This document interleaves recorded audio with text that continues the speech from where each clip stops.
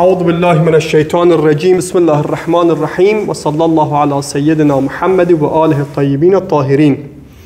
خب همینطور می‌دانید یکی از نمازهای واجب نمازهایی است که به اسم نماز آیات که از ساده ترینش که واجب هست و قطعی هست ماه گرفتگی و آفتاب گرفتگی است.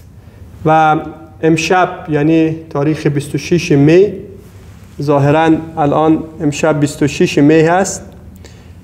چهارشنبه هفت و نیم الی یازده و نیم شب در سیدنی ملبورن بریزبن و سایر نقاط استرالیا ماه گرفتگی به مدت سه ساعت از ساعت هفت و نیم الی یازده و نیم اتفاق می افتد حالا هر وقتی که این اتفاق بیفتد نماز واجب میشه و همون وقت هم در مدتی که همین ماه یا آفتاب گرفتگی یا ماه گرفتگی شروع کرد به گرفته شدن نماز واجب میشه تا وقتی که کاملا به اصطلاح این تمام شود. وقتی تمام شد دیگه قضا میشه.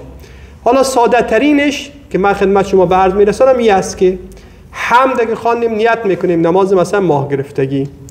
الله اکبر. حمد که خواندیم ولا ضالین تمام شد.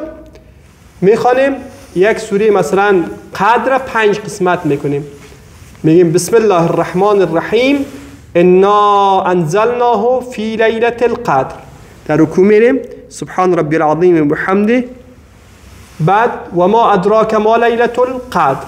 باز در رکوع میریم لیلت القدر خیر من ألف شهر. باز در رکوع تنزل الملائکه والروح فيها بإذن ربهم من كل أمر. باز در رکوع سلام هی حتی مطلع الفجر. باز در رکوع تمام شد.